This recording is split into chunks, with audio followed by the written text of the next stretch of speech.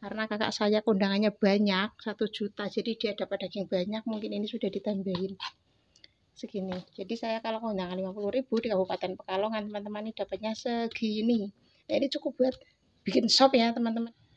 Assalamualaikum teman-teman subscriber di mana pun berada. Saya doakan sehat-sehat selalu. Teman-teman sekarang musim kondangan di tempat saya teman-teman. Bagaimana di tempat teman-teman di luar sana semoga berapapun banyaknya kondangan undangan teman-teman tetap bisa mendatanginya ya. Amin amin amin ya robbal alamin. Nih teman-teman ada satu yang khas dari Kabupaten Pekalongan. Teman-teman ini pasti saya yakin pasti di luar sana nggak ada lagi selain di Kabupaten Pekalongan.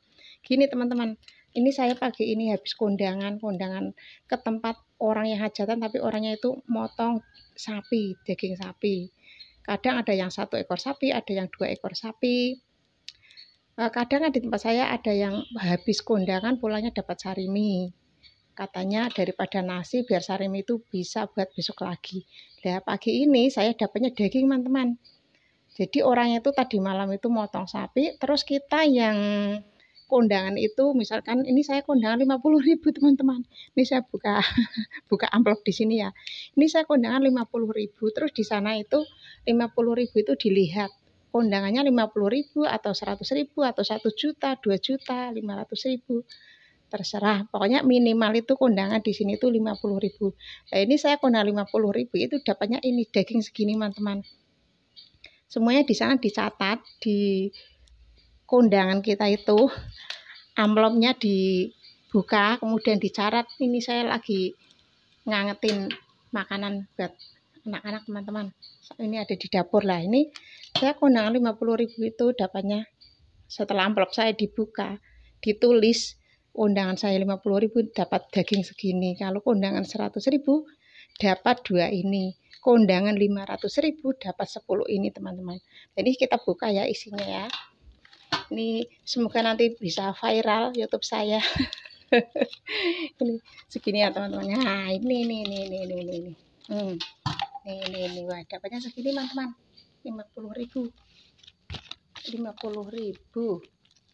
uh, ini karena saya kondangan di tempat saudara saya mungkin ini sudah ditambahin sama saudara saya kayaknya. Ini biasanya dapatnya segini teman. Ini segini ini dihitungnya seribu sepuluh ribu. Segini dihitungnya sepuluh ribu teman-teman. Jadi kan saya kondangan lima puluh ribu dapatnya lima satu. Dua tiga empat lima. Ini dapatnya lima teman-teman. Nah ini yang ini mungkin sudah ditambahin sama kakak saya karena semalam itu uh, dagingnya saya tinggal di sana karena saya buru-buru di simpan di kulkasnya sana. Ini pagi ini sudah saya ambil terus ini kayaknya ditambahin sama kakak saya. Karena kakak saya kondangannya banyak satu juta. Jadi dia dapat daging banyak mungkin ini sudah ditambahin. Segini. Jadi saya kalau kondangan 50 ribu di Kabupaten Pekalongan teman-teman ini dapatnya segini. Nah ini cukup buat bikin shop ya teman-teman ya. Nanti saya bikin shop nanti saya sharing juga shop saya. Shop ala youtuber jadi begini ya teman-teman di luar sana ini suatu kebanggaan buat warga Pekalongan karena punya tradisi yang unik yang pasti tidak ada di daerah lain nih begini. Saya tadi malam itu lupa bawa HP-nya teman-teman ketinggalan. Lah pas kondangannya itu pas kita ngasihkan uangnya itu berebutan teman-teman. Orang-orang itu takut kalau nggak bagian daging. Mereka itu semuanya pengen dapat daging. Nah kalau yang kondangan e, kayak gini orang itu langsung berebutan kalau misalnya dagingnya terpaksa habis orang itu dapatnya sarimi. Kalau 50.000 dapat sarimi 4 atau 3 nah kalau 50.000 daging kan dapat ini lumayan buat ngesop daripada beli kalau beli ini segini ya kurang lebih ya ya berapa ya?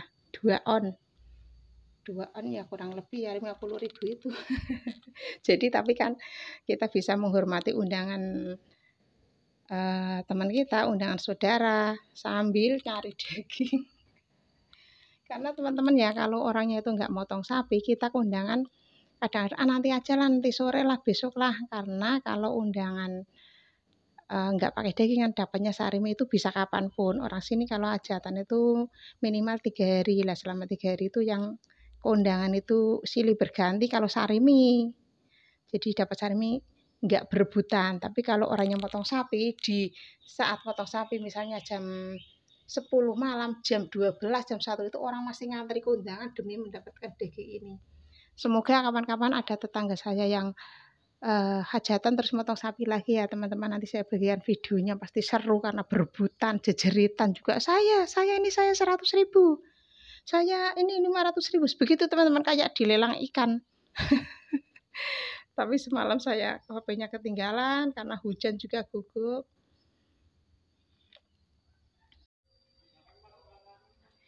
Nah ini teman-teman kalau kondangan 50.000 kan dapatnya satu ini ya teman-teman ya.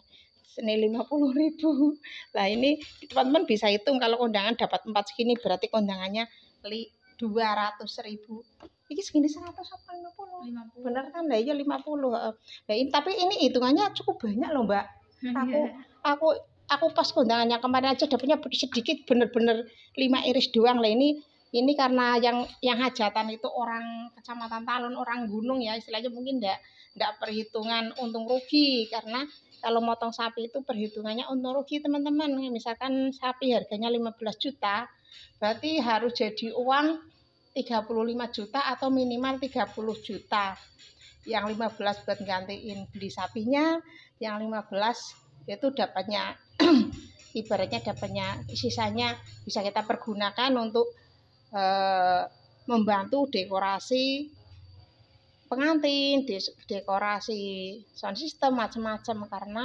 dekorasi rias manten itu sekarang di tempat saya itu antara eh, 20 25 atau yang kurang dari 20 juta sedikit bisa 17.5 itu segitu teman-teman. Walaupun di kampung tapi riasan itu sudah segitu mahalnya. Dan anak-anak itu namanya calon mantan ya seperti nggak mikirin orang tuanya. Mereka nggak mikirkan orang tuanya padahal harganya itu 20-an juta. Yang 30 juga ada ya Mbak Tika ya? Oh, nah ya ini ini ponakan saya ini nanti kalau jadi mantan entah milih yang berapa budgetnya.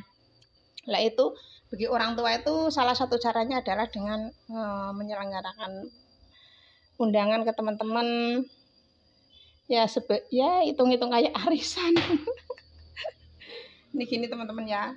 Ini dapatnya du, empat ini berarti undangan 200 ribu. Ini saya buka biar biar mirip dengan yang punya saya. Nah ternyata memang ini cukup murah teman-teman. Benar kalau saya kondangan di tempat orang lain itu nggak bakalan dapat segini 50 ribu. Ternyata ini dapatnya lebih banyak. Hmm ini cukup banyak ya teman-teman ya. 50 ribu ini kan apa yang kondangan orang orang gunung orang itu berarti mungkin nggak perhitungan harga. Ini benar-benar buat menyelenggarakan buat pesta. Jadi dia itu motong sapi benar-benar tasyakuran anaknya menikah, tidak perhitungan untung rugi. Nah, teman-teman sampai di sini dulu ya. Nanti kita akan lanjut di konten-konten saya berikutnya. Terima kasih.